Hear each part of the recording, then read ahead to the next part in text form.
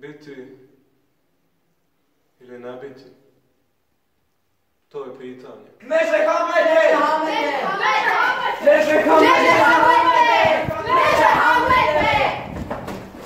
Lud, istina je. Istina je šteta i šteta što je istina. Glupe slike.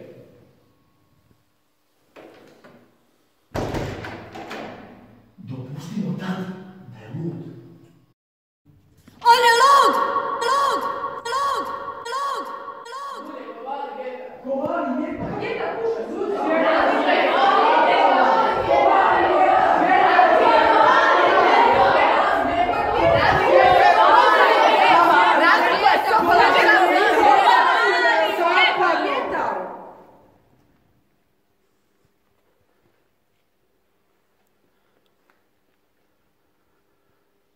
Kneže Hamlete!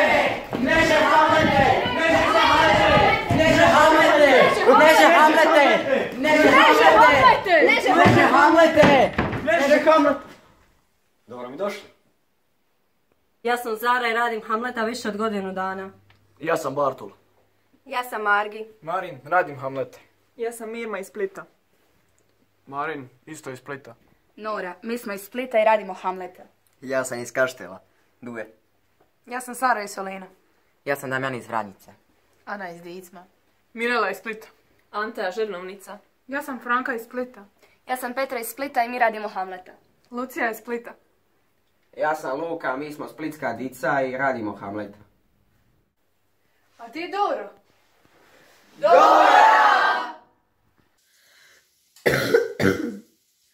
Ja sam Dora, bolesna sam i zato ne mogu snimiti spot.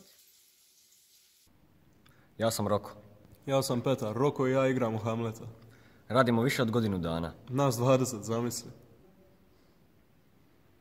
Dobro nam došli.